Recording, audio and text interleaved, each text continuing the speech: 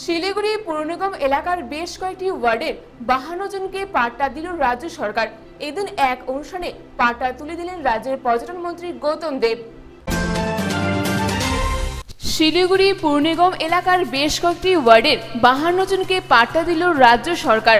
এদিন মৈনাক ট্যুরিস্ট লজে শিলিগুড়ি মহকুমার বাহান্নটি পরিবারের মধ্যে আর আর পাট্টা তুলে দিলেন রাজ্যের পর্যটন মন্ত্রী গৌতম দেব।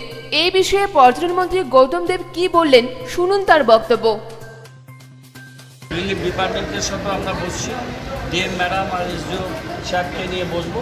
বসে রিলিফ ডিপার্টমেন্টের যে পাট্টাগুলো যেখানে যেখানে মানুষকে দেওয়া যাবে আর আমাদের ইকোনমিক ব্যাকওয়ার্ড যে ক্লাস তাদের যারা পাট্টার এন্টাইটেল তাদেরও আমরা পাট্টাটা খুব তাড়াতাড়ি দেবো। আজকে বাহান্ন জন মানুষকে পাট্টাটা দেওয়া হলো, এই জন্য আমরা প্রশাসনকে ধন্যবাদ জানাচ্ছি।